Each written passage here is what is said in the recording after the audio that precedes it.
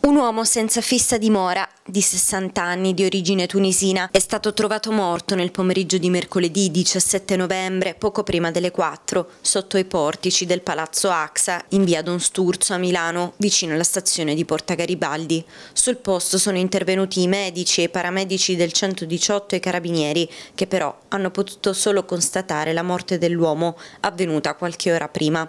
Le cause del decesso sono ancora da accertare, ma dalle prime ricostruzioni potrebbero essere naturali, dovute alle diverse patologie di cui soffriva il sessantenne, aggravate dal suo abitare per strada. A dare l'allarme, a chiamare aiuto, è stato un altro clochard che viveva come la vittima negli accampamenti di fortuna presenti nella zona. È stato possibile risalire all'identità dell'uomo da un documento che aveva in tasca.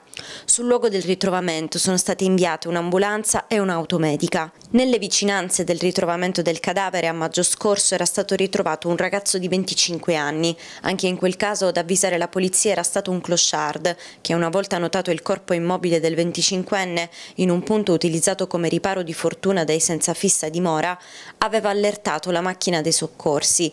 Le indagini sulle cause del decesso erano state affidate alla polizia ferroviaria. La zona comunque, che è spesso riparo di persone senza una casa in situazioni di forte indigenza, è diventata tristemente celebre, soprattutto con le temperature più rigide per il ritrovamento di altri corpi. Due vittime all'inizio di quest'anno erano state trovate morte a causa del freddo.